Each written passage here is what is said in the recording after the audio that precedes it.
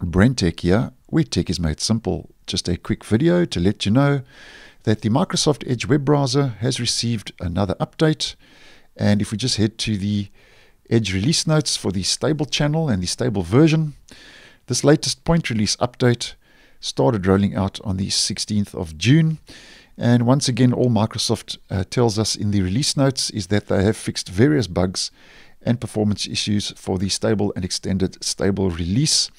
And once this update has been applied, the latest version and build now will be version 102.0.1245.44.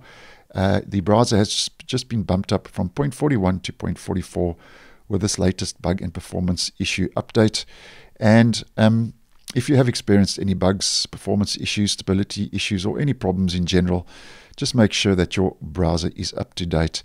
And this is actually the fourth point release update that version 102 has received, which is the latest stable release since it has rolled out on the 31st of May. Now, to double check your browser's up to date, as always, as many of you know, we just head to the menu in the top right, help and feedback about Microsoft Edge. And for most, the browser will be updated automatically in the background.